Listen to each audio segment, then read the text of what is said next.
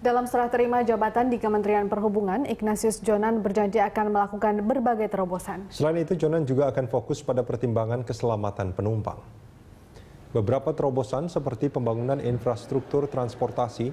Selain itu, Jonan juga berjanji membenahi perizinan di mana semua izin akan diproses cepat dengan syarat yang harus dipenuhi. Sementara terkait program tol laut, akses kereta ke pelabuhan dan hal lain, Jonan akan menjadikannya prioritas utama. Selanjutnya ia segera bertemu dengan beberapa pihak demi tercapainya tujuan itu. Bahwa perizinannya itu harus cepat, oh, itu menerbitkan surat aja kok lama banget ya kan. Kita asal mestinya kalau semua persyaratannya lengkap, ya harus diterbitkan. Yang paling penting itu perizinan yang diterbitkan Kementerian Perhubungan itu yang utama itu adalah pertimbangan keselamatan.